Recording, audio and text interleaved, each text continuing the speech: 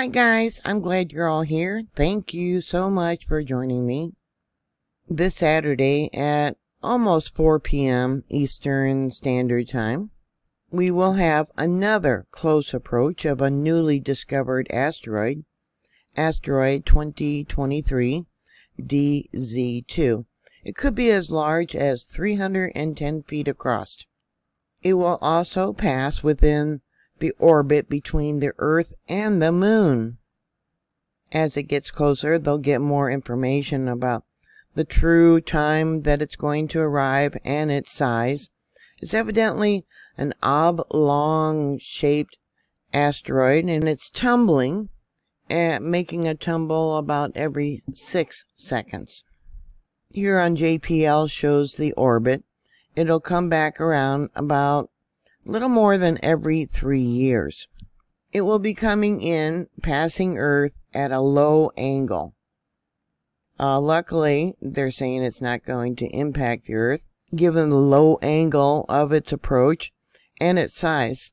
As an example, the Chelyabinsk um, asteroid that blew up over Russia was 59 feet across, and this has a possibility of being 310 feet across. But now they are saying there is no possibility of that happening. Yeah, just don't look up. You will be able to see it in the southeastern sky. Supposedly, if you got a small uh, telescope, you can see it. And as you know, we have a chance that its orbit could change because of the gravitational pull of the Earth and the Moon. Or it could be knocked to a farther orbit or a closer orbit if it impacts something else out there in space. It is considered an Apollo asteroid. Apollo asteroids are Earth-crossing asteroids that have an orbital semi-major axis greater than that of the Earth. As of February of this year, 2023, the number of known Apollo asteroids is 17,540 making this class of asteroids the largest group of near-Earth asteroid objects and are identified as potentially hazardous asteroids. Well, thank God it's not going to impact Earth. If 2023 DZ2 had been arriving approximately 19 hours later, it would have impacted the Earth, as that is where the two orbits meet.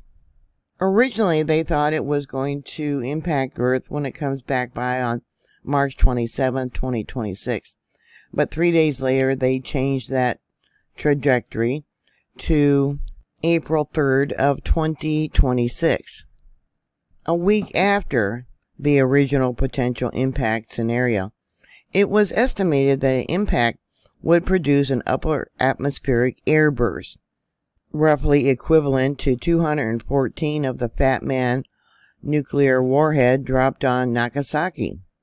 This asteroid, which is an Apollo class asteroid, the origins they really don't know where it came from, but they suspect it came from the asteroid belt between Mars and Jupiter and was likely kicked out from that area by its interaction maybe with another large body or its interaction with Jupiter. Well, thank God it's not wormwood, right? Many of you that have followed me know about this Neal.fun asteroid launcher. You can pick an area and set up the size of the asteroid. Here I got um, 300 feet. It either goes between 300 and 400 feet. So I really can't get anything larger than 300 feet. Um, the speed, which is about, okay, let me get that, 17, a little more than 7, darn it, 17,000 miles per hour. It's going to be a relatively low angle. And let's see, where should we pick to, to um, have an impact? Let's see. Let's pick Washington. We'll pick that area right there and we'll launch the asteroid. And it says it would leave, a 470 foot wide crater.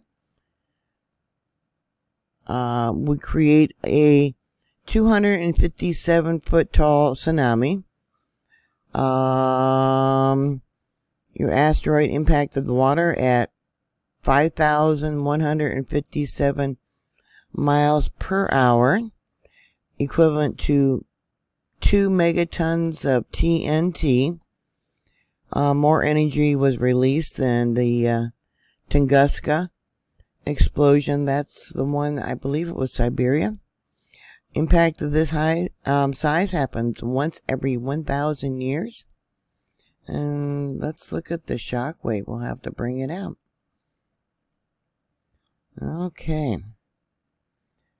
Bring it out, bring it out, bring it out, bring it out. Alright, there's a shock wave. An estimated 5,611 people would die just die from just the shock wave.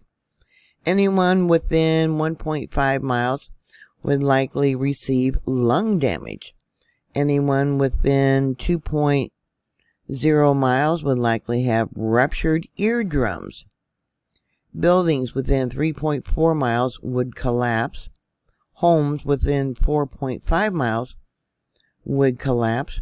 It would have a top speed of 39,327 miles per hour um, an estimated 79,569 people would die from the, just the wind blast. Can you imagine that? It'd be horrible. The wind within one mile of impact would be faster than the storms on Jupiter. Homes within 1.7 miles would be completely leveled.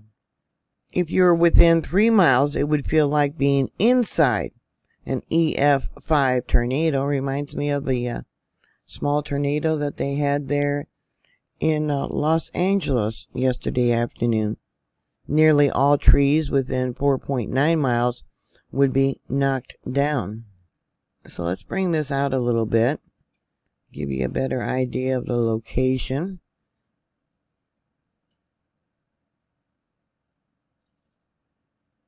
And like always, all links will be down below in the more information box below this video. So what are your thoughts? Please put your comments down below. Thank you very much for watching. Thank you for subscribing. And as always, be prepared for any type of disaster. Please stay safe. And I will talk to you later. God bless you. Bye.